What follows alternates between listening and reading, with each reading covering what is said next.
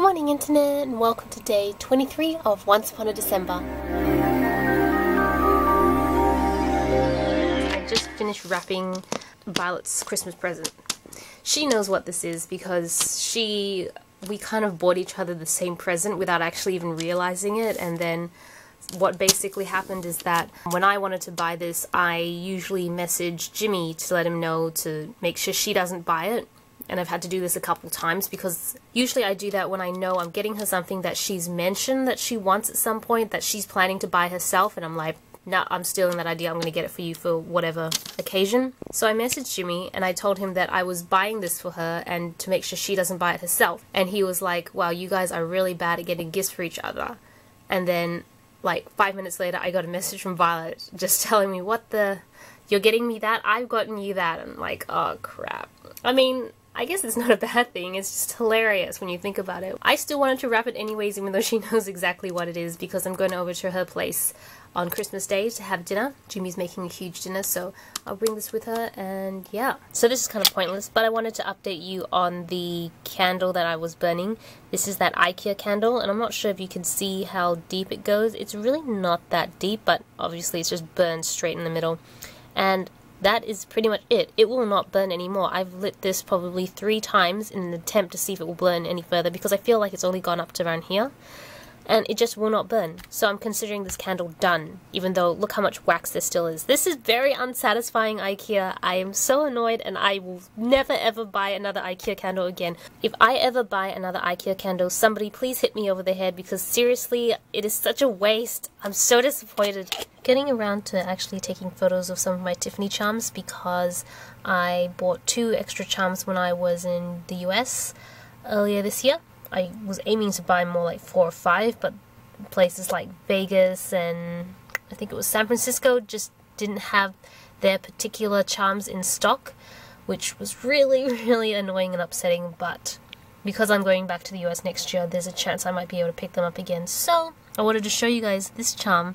This is the one I got in Hong Kong, and I've already started polishing it, so it's a bit better, but you can see, maybe, I'm not sure, I don't think the camera's really showing how gritty it's gotten. You can see it near the handles, which is really annoying because all the other charms generally seem to be doing okay, but it's just this one. So I've got a polishing cloth and I'm going to try and fix it and hopefully get it to look picture perfect again so I can take the blog post photos for today. Welcome to my new home.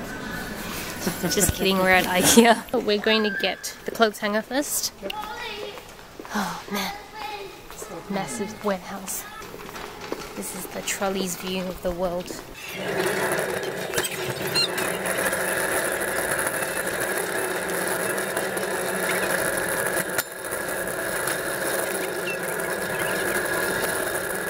I brought you with me.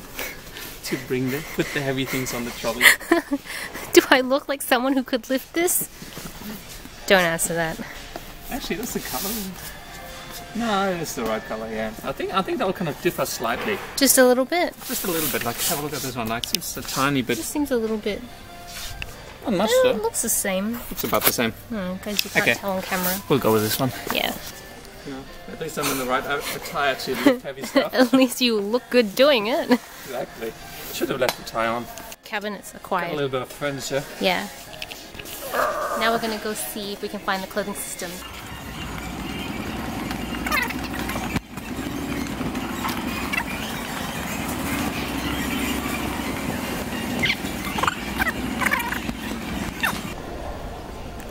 I can just, I can lift this one. You're gonna take that one? Is this the one? Uh, yes, that actually looks like it. So we take one of those. I contribute. Yes, woohoo! Obviously, the worst thing that probably was going to happen on this holiday has happened, and I, for some reason, left my handbag in IKEA. I'm sitting in my car right now waiting for Tobias to go look for it. Fortunately, he had found it. I stupidly left it in an aisle when we were lifting um, some of the boxes. Um, yeah, I left it on the side somewhere, so I'm just so glad he's got it because I was just so worried because it's firstly it's your handbag it has like your wallet and everything important but the other thing is i carry designer brands so it was a prada handbag on top of that so i just thought if anyone found it I just don't feel like they would probably return it or put it as lost and found. I felt like with branded stuff, they're probably just going to take it for themselves. So that really started stressing me out. Oh, and here he is. He's back. Currently on the way home, and I look exceptionally bright right now because I've actually got a video light on. because otherwise, if I didn't have the video light on, this would look really dark and you wouldn't be able to see me at all. So I don't want to blind you guys, but there it is between my legs. Rather that sounds really bad. That does sound really bad. But rather too bright than too dark. Yeah, that's true. So we've bought everything we need. I got a couple extra hangers to store my clothes with. And I probably won't assemble everything until maybe tomorrow or Christmas Day. Um, just because I still need to do a bit more clearing out. So yeah, that's my day. Exciting. I think I'm going to end the vlog. So until then, I'll catch you guys tomorrow. Bye!